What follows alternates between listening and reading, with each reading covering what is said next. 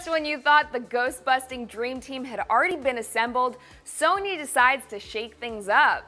In addition to the upcoming Paul Feig directed all-female Ghostbusters reboot, which includes the likes of Kristen Wiig and Melissa McCarthy, Deadline reports that Sony is planning to release an additional reboot film with an entirely different poltergeist-pounding crew.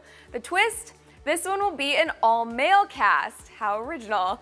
Starring, wait for it, Channing Tatum.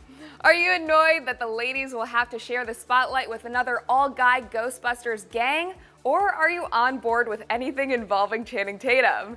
Sound off in the comments and stick with us at Celebified for more movie news.